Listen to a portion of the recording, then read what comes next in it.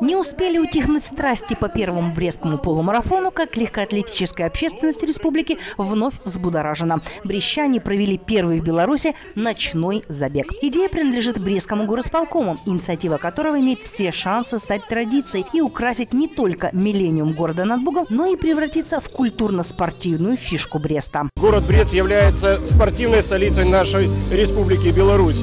И сегодня мы будем свидетелем того, что зарождается в городе Брест еще одна традиция, новая традиция. Мы открываем первый ночной забег.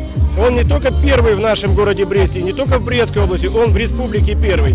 И основная цель данного мероприятия – это прежде всего продемонстрировать нашим жителям, и не только города Бреста, и других городов, чтобы быть на дороге более ярким и заметным по безопасности дорожного движения и, конечно, за здоровый образ жизни. В самой необычной инициативе сезона приняли участие порядка 470 любителей бега. Старт дали на набережной Франциска Скорины. Маршрут длиной в 7 километров 400 метров пролег по самым знаковым улицам Бреста. Обновленной набережной проспекту Машерова, Гоголя, Мицкевича и Советской. Для себя бегаем, для того, чтобы быть сильнее.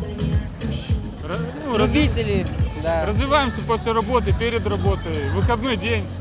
Любим бегать. Главная особенность Брестского ночного забега – его правила. Участники бежали только по тротуарам, не нарушая привычное движение автотранспорта, и пересекали проезжую часть только на зеленый сигнал светофора. В этом главная цель пробега – привлечь внимание к использованию световозвращающих элементов и культуре поведения водителей и пешеходов. А еще соревнование – это лишний повод и пример здорового образа жизни. На дистанцию вышли участники в возрасте от 3 до 73 лет. Я участвую почти во всех забегах, которые у нас в республике проходят.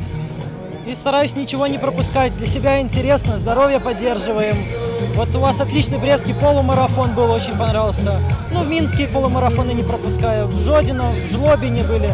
Ездим везде, где можем. Ну, куда финансы позволяют, по крайней мере. Очень хочу быть примером для своих деток. Мы сюда приехали с сыном. Сын, подходи сюда. Сын и моя доченька младшая. Я очень всячески стараюсь быть примером.